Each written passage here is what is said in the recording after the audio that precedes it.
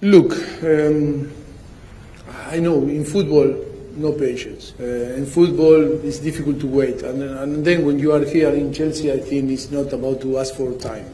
You need to deliver it from the day one. I think that is why uh, we are, how we are working now in the training ground is, is not uh, uh to give too many time to the player to think, to uh, to spend time, to wasting time. It's about to deliver from now uh, or to give our best uh, to put in the service of the of the team.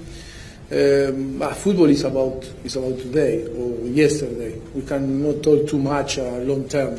Um, we cannot tell the, the people that we, we need six months and to create something because you know um, I think it's not good. We need to create the belief from the beginning, and I think we have player, and we are going to have a squad, a player that can deliver in the show, and give what we expect, and from the day one we need uh, to think in, in to win. And then if we don't win, and maybe we little by little, or we need more time to develop our idea, maybe it's possible that after we will um, uh, tell you, but.